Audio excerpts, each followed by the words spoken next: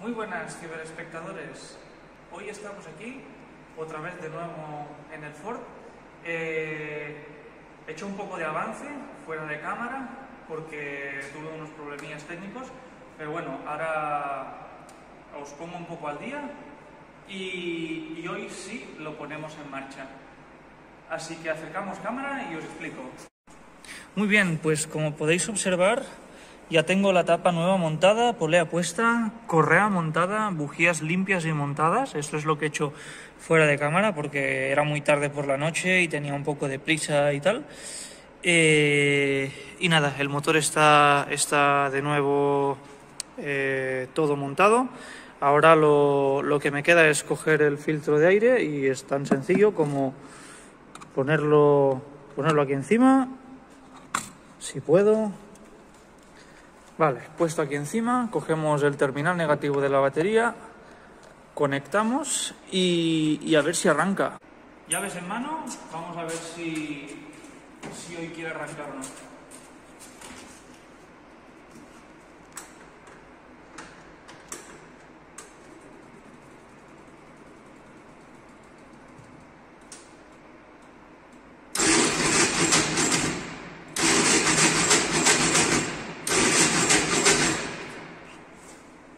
Bueno, no arranca, vamos a darle una ayudita.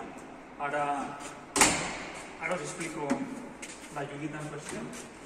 A ver, a ver qué. Vale, la ayudita consiste en coger, nada, un chorrito de gasolina, muy poco. Un poquito de gasolina y se la echo directa al carburador. Nada, unas pocas gotas nada más. Y bueno, el filtro de aire lo puedo dejar aquí, no pasa nada. Volvemos a intentar, segundo intento.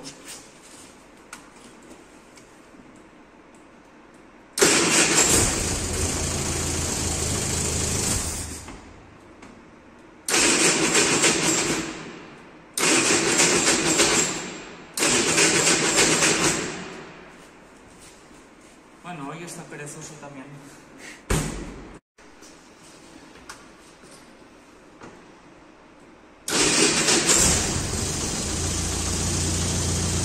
Bueno, pues ya lo tenemos en marcha. Ya veis que va bastante fino. Ahora lo tengo aquí sin, sin filtro de aire ni nada. Pero bueno, más que el ventilador dando vueltas, poco se va a ver que está en marcha, aparte del ruido. En el interior miramos que tenga presión de aceite, como veis la aguja está marcando presión de aceite, no se ve, no se ve mucho, pero la aguja está marcando presión de aceite. Y, y bueno, ya lo tenemos en marcha. Bueno, eh, hoy habéis visto que lo hemos puesto en marcha y cuando se pone en marcha, ahora veréis que cuesta poco ponerlo en marcha. A ver si hay suerte. Ya lo veis. Se pone en marcha bastante fácilmente. Eh, mañana iremos a dar un paseíto, eh, pero antes de ir a dar el paseíto a- haremos el cambio de aceite, porque ahora en el motor tengo, me parece, un, 20 un 1540 y cuando el motor entra en temperatura de funcionamiento, la, la presión de aceite eh, baja, pero baja totalmente hasta cuando no hay presión de aceite. Ahora en frío, eh, no sé si lo habréis visto muy bien, pero sí me mantiene presión de aceite, pero con motor caliente no. Entonces tengo preparado un, ah, un 2050, me parece que es, sí, un 2050, que mañana se lo voy a cambiar. Ya. Vale, pues dicho esto, que vamos a cambiar el aceite y tal, eh, mañana iremos a dar un- una vuelta, ya os lo he dicho, así os enseño un poquito el coche también a la luz del día y lo veis fuera. Eh, os hago un poquito de historia de, de lo que es el coche si, si- si queréis. eh, y si os interesa pues ver el coche, la sesión de fotos que os que comenté en el primer vídeo y demás, eh, lo dejáis en los comentarios y, y si no, pues, pues nada. Ahora desconecto batería porque ya hemos visto que el coche se pone en marcha fácilmente. Bueno, vamos a poner el capó que siempre que veis en los vídeos lo tengo fuera y es que el capó es muy fácil de poner y quitar.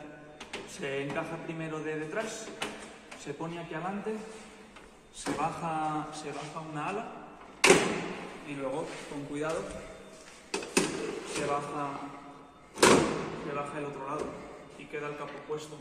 Y para quitarlo es lo mismo, levantas un lado, de hecho, cuando levantamos un lado del capó, cuando levantamos un lado del capó, tiene unas ranuras donde se sujeta y yo ahora puedo coger, dejar esta, irme al otro lado y, y levantar la, la otra.